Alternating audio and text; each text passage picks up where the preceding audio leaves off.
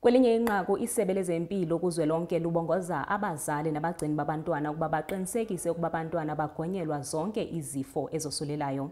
Oku kuvelana njengoko iziko lesizwe lezifo ezosulelayo linike ingxelo yokwanda kwenani labantu abagula sisifo serubela kwiindawo ezahlukeneyo ziseRhawutini, eNtshona Koloni, eMpuma Koloni naKwaZulu-Natal.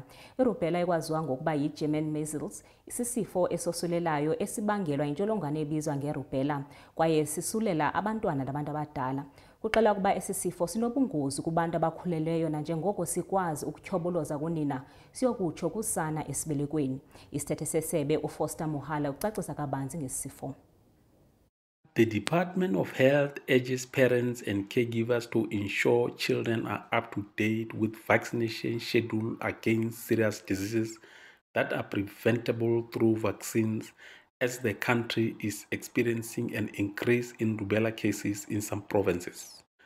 The National Institute for Communicable Diseases or the NICD has alerted the department of notable rising number of rubella cases in various parts of Gauteng, Western Cape, Eastern Cape and KwaZulu-Natal.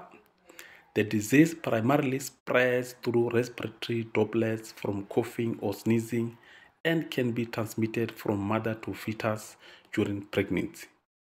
The disease generally causes mild illnesses in children and adults, but it can lead to death, miscarriage, stillbirth, or severe birth defects in infants among pregnant women unless early diagnosed or treated. The department is currently rolling out measles rubella vaccine as part of expanded program of immunization across the country. This combined vaccine replaces standalone measles vaccine and is administered at 6 and 12 months of age. In the private sector, rubella protection is included in the measles mumps rubella vaccine, which is typically given between 12 and 15 months of age.